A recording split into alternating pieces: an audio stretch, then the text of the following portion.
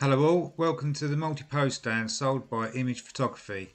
Um, it's a HUD driven pose stand. The HUD can be given to anybody as well as yourself. Um, you can pass it around.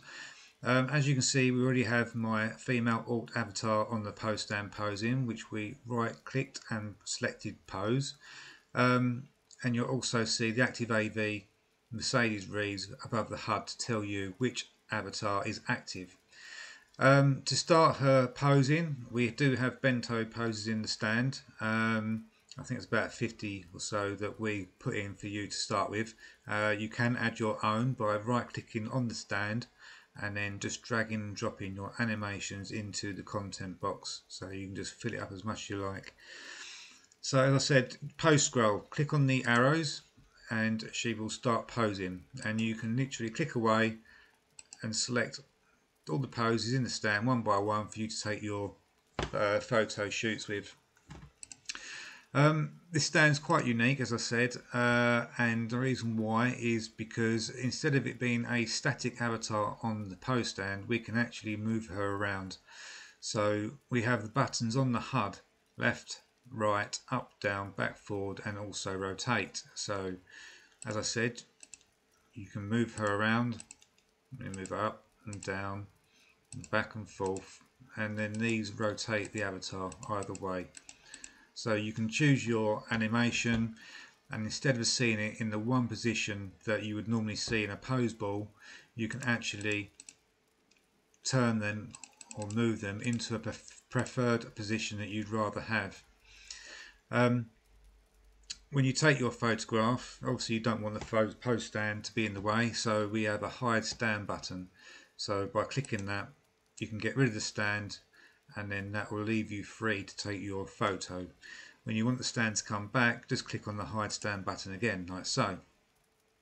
We have pose options as well um, on here when you want to move the avatar around the stand if you want it to do quite finely or quite coarse which is like um, hard extra fine and so on um, you can just select the um, feature of how sensitive you are you want the movement on the stand.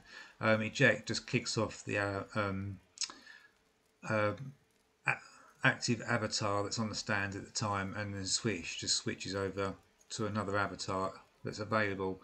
Um, this pose stand can just pose one avatar but it also can pose many more. So if I select right click sit here I then take the seating animation on the stand.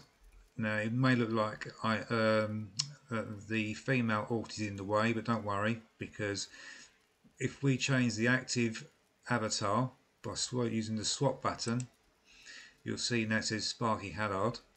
I can use these buttons to move me away from the female alt like so.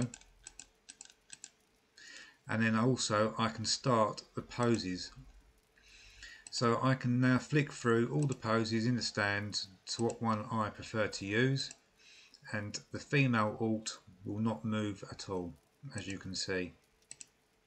Now what this makes this stand quite unique is that with pose balls all you've got is one set of poses that you can use. You can't do anything else with it apart from jump on it and pose.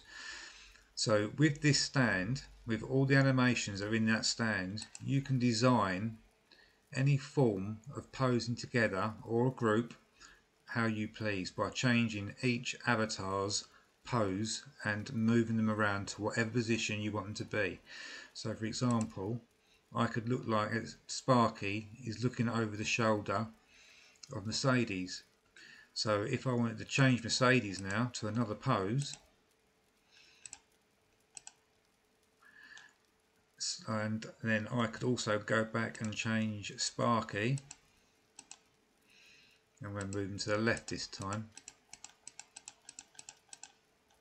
And we keep changing poses and we'll see one that might match up.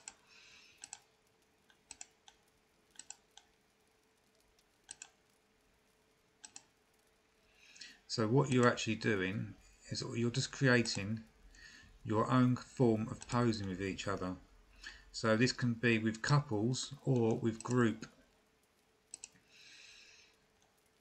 And if I wanted to turn him towards Mercedes like so I could do. And then I could even move him over a little bit. So you can see what I'm doing. I'm creating many different kinds of poses with each other as possible using all the animations in that stand you can add your own animations to the stand so you can give yourself much more variations of different poses that you can be doing. This is what's made this stand quite unique in Second Life and this is why we've sold so many. Um, so feel free to drop by the store in, in World and um, that's all guys. Thank you very much